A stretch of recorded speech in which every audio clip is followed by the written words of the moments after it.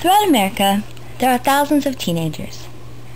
Some of the wackiest and most far out can be found in theater programs. Which brings us to Dunedin High School. Thespian Troupe 2177 is a kooky bunch. They may be crazy, weird, and all around goofy, but each one of them has one thing in common. They're being taught everything they know from this guy, Gerald Durst. Mr. Durst to them is the leader of all this insanity. It may look fun having this guy as a teacher, but we're about to see what it's really like. This is True Life. I'm a Durst student.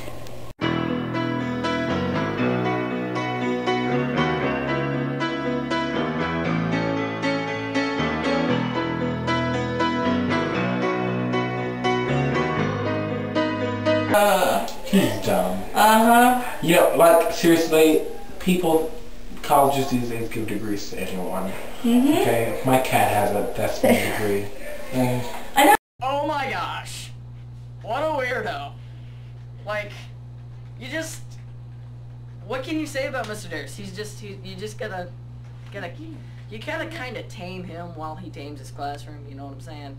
You just gotta kind of keep him in line every now and then, just, you know, the, the, the wag of the finger. Let's just say he's a kid at heart. Real strong kid at heart, and I don't know. I think he needs to grow up a little bit. But, you know, it's fun.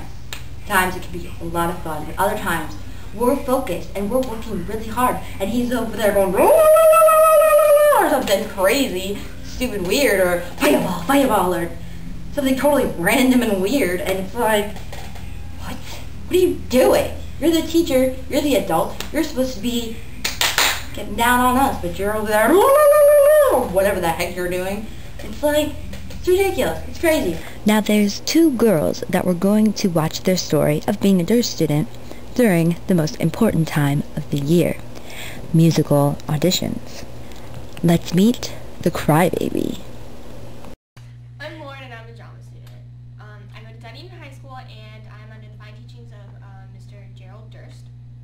Um, I like drama because it's the one time where you can be someone else and you don't have to be yourself. You can just go away into a different world kind of thing. It's a really great feeling. She was talking about me behind my back, saying that I was pregnant with triplets that were conjoined at the head. Okay, first of all, you're stupid if you believe that. And second of all, do I look pregnant to you? No, I do not.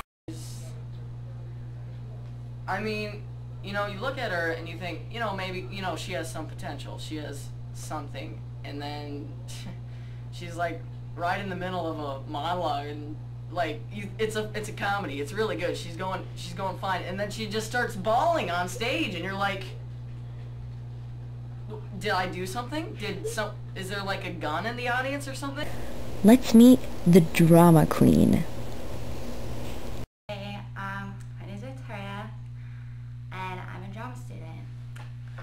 Um, I'm 17 years old, at a Dunedin High, I'm a junior, and um, I'm fabulous. I'm amazing. I'm so talented. I can do anything: act, sing, dance. I can. I can even do tacky work. I'm great. And, um, Victoria, she is so fine. Yesterday she was coming down the hallway. She was coming down the hallway, right? And I saw her room. I I don't know, she's such a witch. I'm gonna use that word for you, audience members. For you. She was just I don't know. She's always so mean. She's so mean. Like you think you might have a friendship with her someday, but really, no. She always just turns around and like punches in the mouth with it. It's just yeah, and then she claims she wants to be the thespian president next year. I know. Good luck with that, Victoria. I know. What, what is she thinking? She doesn't even have like the leadership quality at all. I have a 4.9. Who cares? You ain't gonna be it. They're not I gonna like you. I agree. It's Yeah. retarded. Everybody hates you. Mhm. But man, Durst better cast me, okay? And if he does it, he's such a lobster. You know, you can't tell him I said that because then he wouldn't cast me. I'm just amazing. He needs to realize this and he needs to cast me. That little lobster with his pinchy little claws and that, that, that tail that everybody sucks all the juice out of when you're eating it. Mmm. Going down if he doesn't cast me. I think I did, uh, okay. I I sang, um, I don't want to be like Cinderella from the Cheetah Girls audition song. You, I, I heard you from outside. You did pretty good. I want to be like Cinderella. Uh, we get it. We get it. But um, to me, like, I don't think I did that good. I'm not really that confident about it. I never have been, but I don't know. Hopefully, I got it. But I probably won't get a part because, you know, Victoria's gonna get it. probably below my standards because, you know, I'm just so amazing. And the other reason I'm auditioning is because I'm going to grace everyone with my presence and my talent, the director and the crew and the rest of the cast and um, the audience. And plus, I, I view this as an experience for everyone else to work with my talent because they'll never forget it.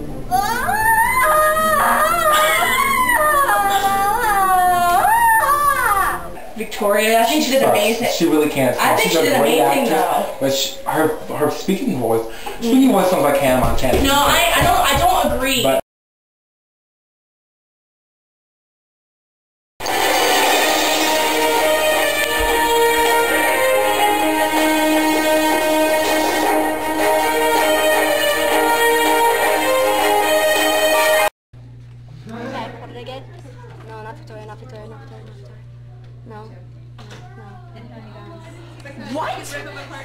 What? What? No, no, I'm too fabulous for this. It's it's too below my standard. I'm too fabulous for this. Done. I'm too fabulous for this. That play is it sucks. Okay, a year with Spamalot in Urinetown. What? Who wants to be in Urinetown anyway? Nothing? I, I, I got nothing. Brandon, For your glasses. looks like you didn't make it. Glasses. Sorry. Aww. Looks like I made it though. Sucks for you. Oh, me too. Sorry, Lauren. Nothing, Lauren. Aww. Oh, wait, isn't that the one that's so everything, Victoria? Mm-hmm. Oh, she didn't get anything either. At least we got it. okay, so uh, let's go. In the end, they've all learned their lesson.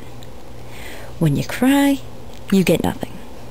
And when you brag, you get something that isn't important.